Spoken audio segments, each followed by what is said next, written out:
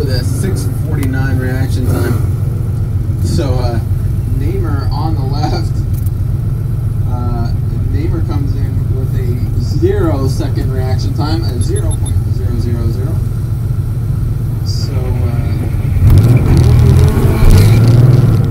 Namer may have laughed before the uh, before the for. Robert Bay on the right at 40.959 plus 1.9.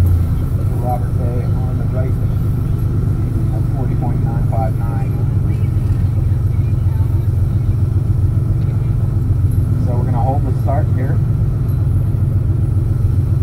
As we're waiting, to get a couple finishes.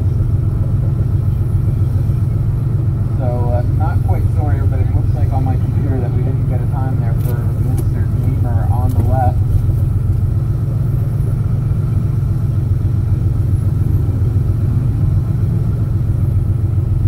So, uh, Chris Clark now on the left, 42.051.